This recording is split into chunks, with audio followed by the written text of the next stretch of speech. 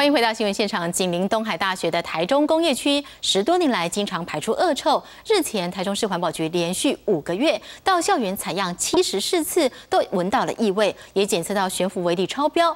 不过，相关单位却迟迟无法改善问题。东海师生现在发起千人联署运动，要求将污染工厂赶出工业区。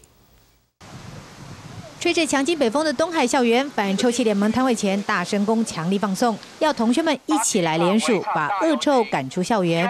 台中工业区的不孝厂商不肯正视东海人的生。留言板上，大家共同的心声也是恶臭。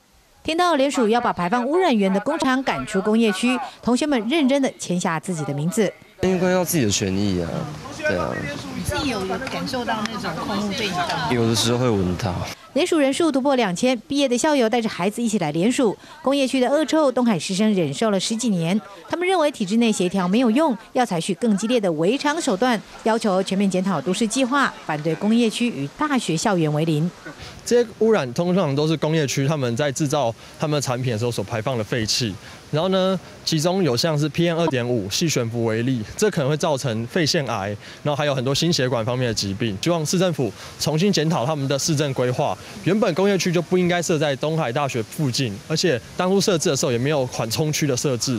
那这都是非常危害市民还有东海师生的的错误。台中市环保局今年连续五个月巡查东海大学校园七十四次，检测超标，也多次开罚，但还未达重大公务标准。工业区中区管理处强调，厂商违规行为未达勒令停工标准，只能辅导他们改善生产设备。那在国家的标准以内，那这有有这样的问题来讲，那这个可能这个东西可能还需要一些更多的科学上面的数据。每天定时定点都会派人哦去做巡查，巡查到底他那边会不会有这些味道发生。赶不走污染源，地方政府制定严格空污标准，遭厂商强烈反弹。东海师生这次发起的千人联署，如果工业区没有善意回应，将在十二月二十三号举行围场大游行。发起这次学生运动的主办单位，将活动定位为学生对上追求利润的厂商业者一场争生存权的抗争。记者洪秀荣、彭万群台中报道。